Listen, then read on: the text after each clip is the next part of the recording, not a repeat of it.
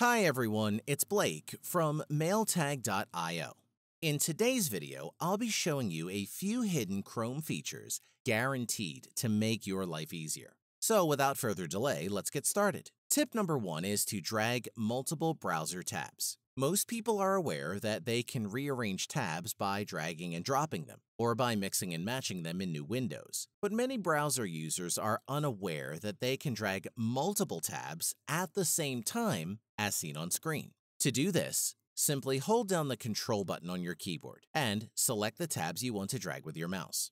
If you're on a Mac, don't use the Control key. Instead, Mac users will want to hold down the Command button. Once holding down the Command button, simply click the multiple tabs you'd like to drag. Tip number two is to use keyboard commands to switch between tabs. To do this, simply click Control and the number that you'd like to switch to. For example, as you can see on screen, I have multiple tabs open. If I want to go to the first tab, I simply hold down the Control button and click the number 1 key on my keyboard. If I want to go to the second tab, I simply hold down Control and click the number 2 key on my keyboard. If you're on Mac, instead of clicking the Control button, hold down the Command button on your keyboard. This awesome feature is perfect for quickly switching between tabs to get to the page that you want to get to even faster.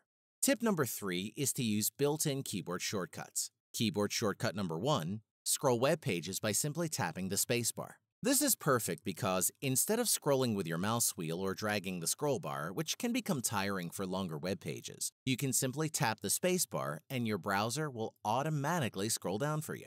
Keyboard shortcut number two, zoom in and out of web pages. To do this, hold down the Control Shift plus to zoom in or Control Shift minus to zoom out.